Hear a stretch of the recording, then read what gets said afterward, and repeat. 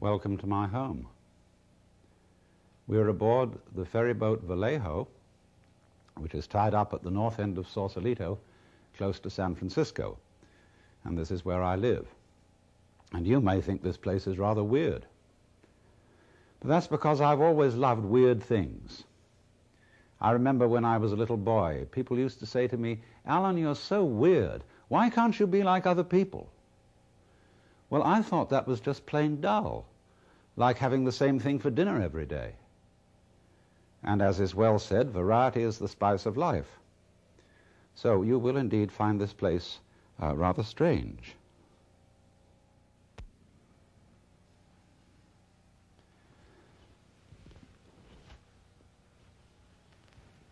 And some of the things that are weird are weird because they are just obvious and nobody ever thinks of them. Some of the most fascinating scientific discoveries have been made by people who called ordinary common sense in question. Like anybody can see that the earth is flat, and people know it's flat. And calling that fundamental assumption in question is really the beginning of geography. And when I think over the weirdest of all things I can think of, you know what it is? Nothing. The whole idea of nothing is something that has bugged people for centuries, especially in the West. Because we have a saying in Latin, ex nihilo nihil fit, which means that out of nothing comes nothing. You can't, in other words, get something out of nothing. And it's occurred to me that this is a fallacy of tremendous proportions that lies at the root of all our common sense, not only in the West, but in many parts of the East as well. And it comes up as a kind of terror of nothing, a put down on nothing, on everything to do with nothing, everything associated with nothing, such as sleep, passivity, rest, and even the feminine principle is often equated with the negative principle. Although women's lib people don't like that kind of thing, but when they get through understanding what I'm going to tell you, I don't think they'll object. Because what has struck me is that nothing, the negative, the empty, is exceedingly powerful. I would say, not ex nihilo nihil fit, out of nothing comes nothing, but I would say you can't have something without nothing. For how do we basically begin to think about the difference between something and nothing? I can say, there is a cigar in my right hand and there is no cigar in my left hand. And so we get the idea of is here and isn't or empty here. But behind that, of course, lies the far more obvious contrast of solid and space. Now, we tend to think of space as nothing. When we talk about the conquest of space, there's a little element, notice, of hostility in that phrase. But actually, we're talking about the conquest of distance. Space as such, that is to say, whatever it is that lies between the earth and the moon and the earth and the sun, is considered, especially since the Michelson-Morley experiment, which proved there was no ether, is considered to be just nothing at all. But to suggest how very powerful and important this nothing at all is, let me point out to you that if you didn't have space, you couldn't have anything solid. To begin with, without space outside the solid, you wouldn't know where the solid's edges were. For example, you can see me on the camera because you see a background here and all around me, and that background shows up my outline. But if that wasn't there, then you would notice, say, only the beads and the microphone here, and this would become the background. But you always have to have a background to see a figure. You just can't do without it. So that means that the figure and the ground, the solid and the space, in some way are inseparable and go together. Now, we find this very commonly in the phenomena of magnetism and electricity. A magnet has a north pole and a south pole, and a battery has a positive pole and a negative pole. There is no such thing as a magnet with one pole only. That's supposing we equate with north with south and north with is and south with isn't. Then we see we can't do without the two of them. You can chop the magnet in two, supposing it's a bar magnet, and you'll just get another north pole and south pole on the end of each piece. And so, in the same way, a current will not flow through an electric circuit until the negative pole is connected as well as the positive. Because the current does not wait in the wire like water in a hose and then begin to flow when you, as it were, connect it with the negative pole like turning on the nozzle. There won't be any current in the wire at all until its end point, which is the negative, is established. So, what this is trying to get into our basic logic is this that there isn't a sort of fight between something and nothing. You know the famous words of Hamlet to be or not to be. That is the question. It isn't. To be or not to be is not the question. Because, as I think I've shown, you can't have a solid without space. And therefore, you can't have an is without an isn't, a something without a nothing, a figure without a background. And we can turn that right the other way round and say you can't have space without solid. Because imagine nothing but space. Space, space, space, with nothing in it at all forever. But there you are imagining it, and you're something in it. To have the whole idea of there being only space and nothing else at all is not only inconceivable but perfectly meaningless because we always know what we mean by contrasts. We know what we mean by white in comparison with black. We know life in comparison with death. We know pleasure in comparison with pain, up in comparison with down. But you will notice of all these things that they must come into being together.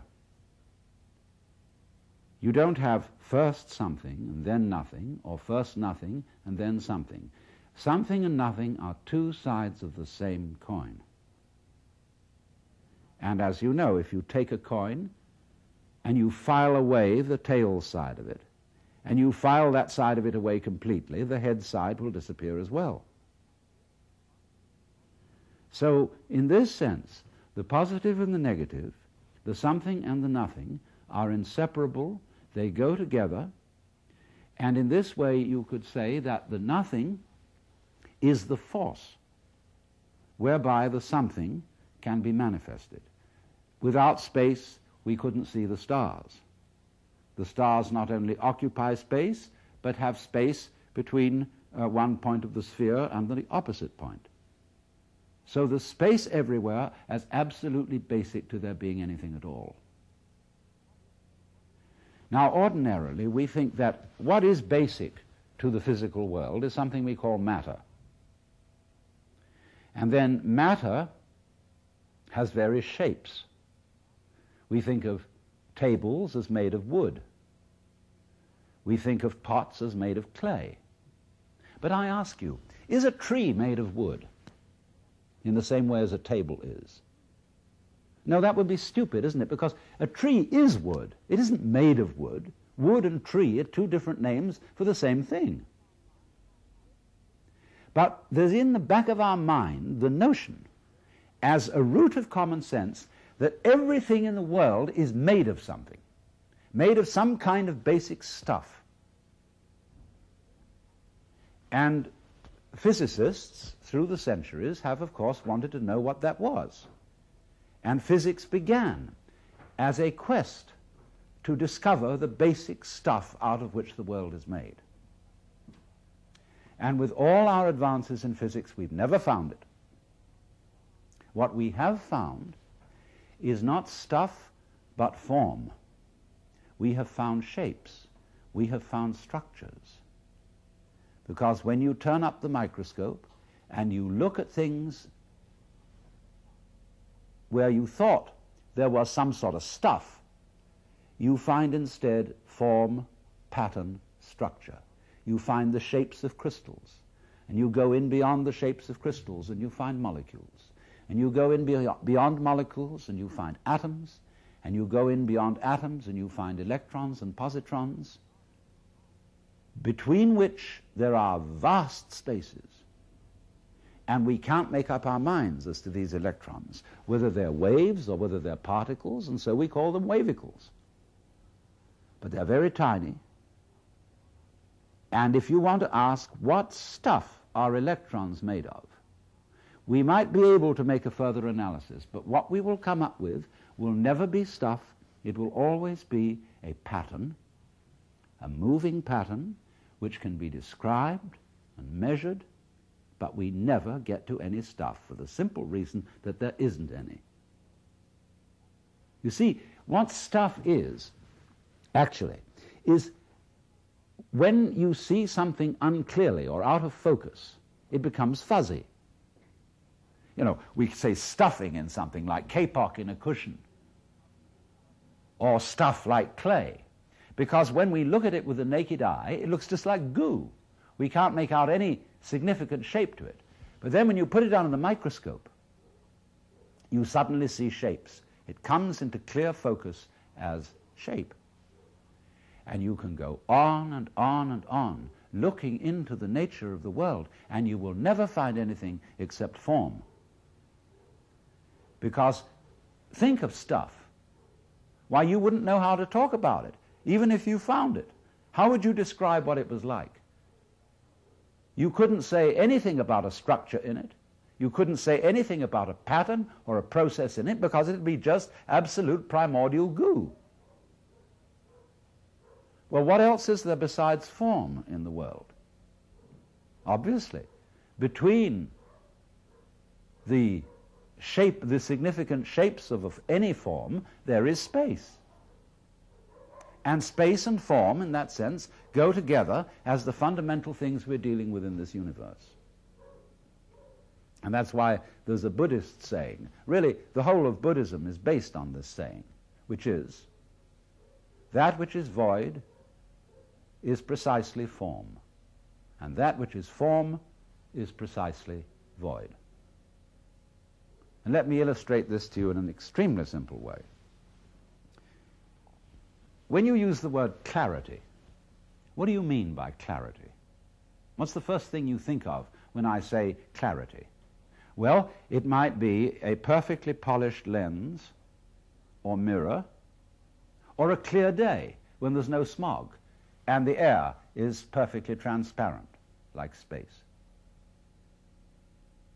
Now, what's the next thing you think of? Clarity. The next thing you think of is form in clear focus, all the details articulate and perfect. So the one word clarity suggests to you these two apparently completely opposite things. The clarity of the lens or the mirror and the clarity of articulate form.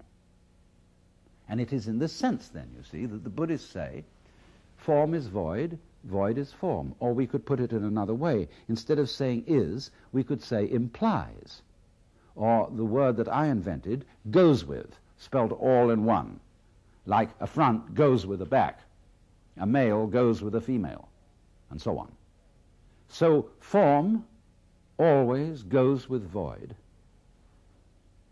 and there really isn't in this whole universe any stuff. Form, indeed, is inseparable from the idea of energy. And frisky form, especially when it's moving in a very circumscribed area, appears to us as solid.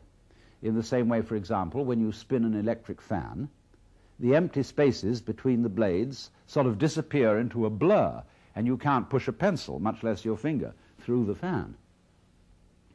So in the same way, you can't push your finger through the floor because the floor's going too fast. But basically, what you have down there is nothing except nothing and form in motion. I know there was a physicist at the University of Chicago. He was rather crazy, like some scientists. And this impressed him so much the ins- insolidity, the instability of the physical world, that he used to go around in enormous padded slippers you know, for fear he should fall through the floor. But here it is, this common sense notion that the world is made of some kind of stuff is shown to be a, a nonsense idea in the back of our minds. It isn't there at all, but instead form and emptiness.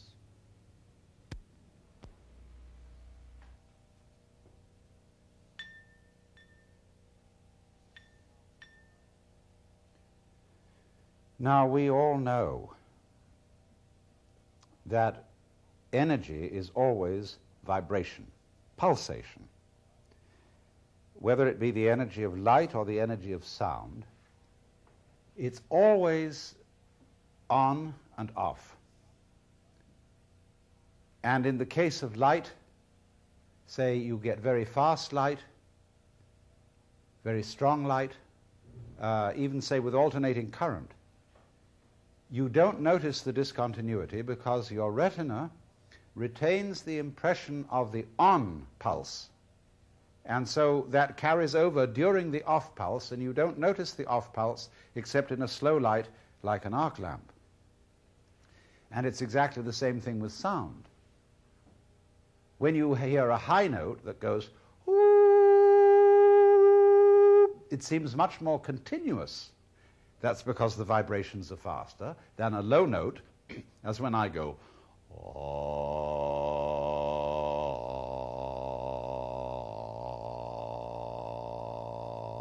Now, in that, you can hear a kind of graininess. And that graininess is because you are hearing the rapid alternations of on and off on a lower note. So that all wave motion, then, is this process.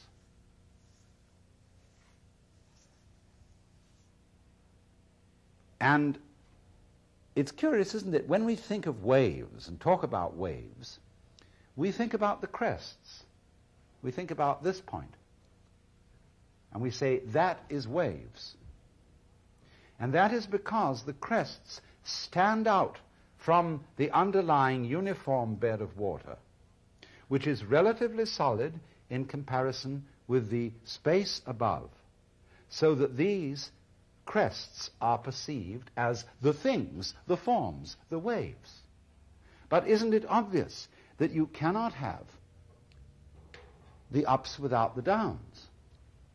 You could call, you see, you get this dividing line here between above and below. Now, isn't it obvious, first of all, you cannot have the emphasis called a crest, the concave, without the de-emphasis or convex called the trough. They necessarily go with one another so as to have anything standing out, there must be, as it were, something standing down or standing back. So, in this way, we must realize that if you had this part alone, the up part, that would not excite your senses in any way because there would be no contrast. In other words, when sound comes upon your ear, the eardrum vibrates. When the on pulse of the sound comes, the eardrum is driven in a little. When the off succeeds, the eardrum comes out again. And so the eardrum wiggles. If you just pushed it in uniformly and left it there, you wouldn't hear anything. In the same way, if there is no sound and the eardrum is not being pushed at all, you have silence. But to have sound, you must have the alternation of sound, silence, sound, silence, sound, silence. And so you get that, Uh, which you can hear on a very deep note. Now, the same thing is true of all life together we shouldn't really contrast existence with non existence. Because actually, existence is the alternation of to be and not to be, of positive and negative, of on and off.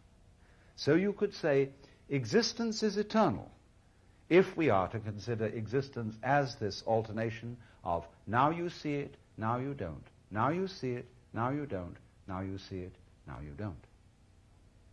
It is that contrast that presents the sensation of there being anything at all. Now, in light and sound, these waves are extraordinarily rapid so that we don't hear the interval between them.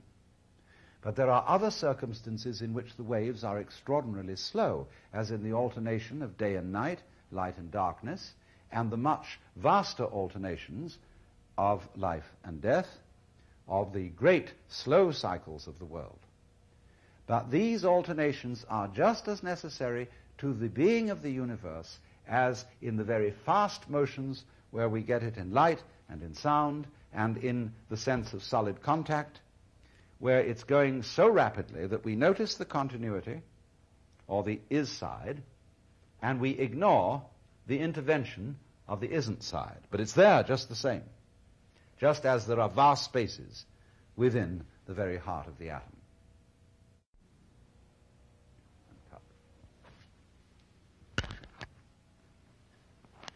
Now, another thing that goes along with all this is that it's perfectly obvious that the universe is a system which is aware of itself. In other words, we as living organisms are forms of the energy of the universe just as much as the stars and the galaxies. And through our sense organs, this system of energy becomes aware of itself. But there's a puzzle in this, which again relates back to our basic contrast between on and off and something and nothing, which is this that the aspect of the universe which is aware of itself, that is to say, the aspect which, to put it in a very clumsy phrase, does the awaring, does not see itself. In other words,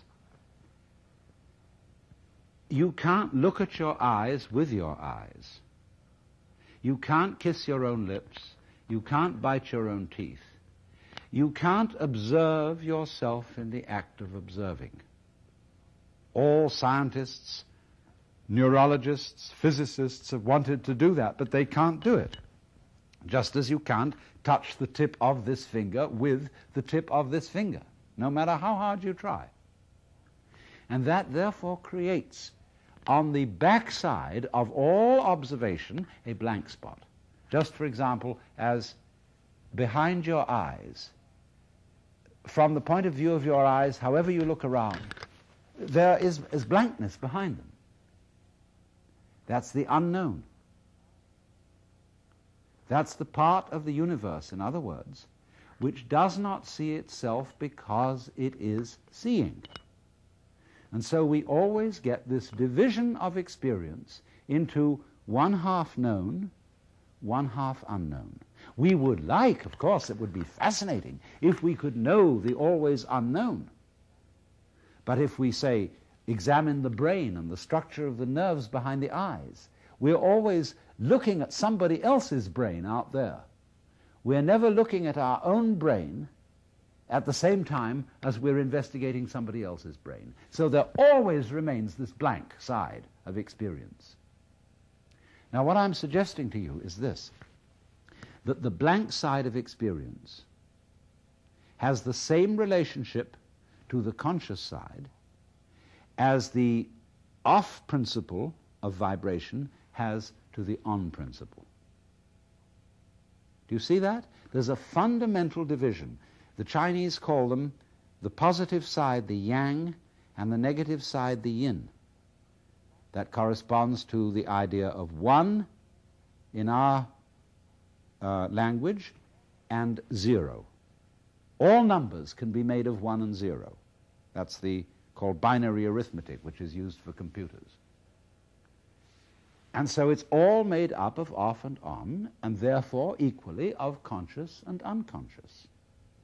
But The unconscious is, so to say, the part of experience which is doing consciousness, just as the trough manifests the wave, the space manifests the solid, the background manifests the figure. And so all that side of life which you call unconscious, unknown, impenetrable, is unconscious and is unknown and is impenetrable because it's really you. In other words, the deepest you is the nothing side, is the side which you don't know. So, in this sense, don't be afraid of nothing. I could make a joke and say there's nothing in nothing to be afraid of. But people in our culture are terrified of nothing. They're terrified of death. They are uneasy about sleep because they think it's a waste of time. And they have a lurking fear in the back of their minds that all this universe is eventually going to run down and end in nothing. And it will all be forgotten, buried, and dead. But this is a completely unreasonable fear because it is just precisely this nothing which is always the source of something. Think of it once again in the image of clarity. We say crystal clear. Nothing is what brings something into focus. And this nothingness, symbolized by the crystal, is your own eyeball, your own consciousness, and the clear space in which all the stars have freedom to be seen.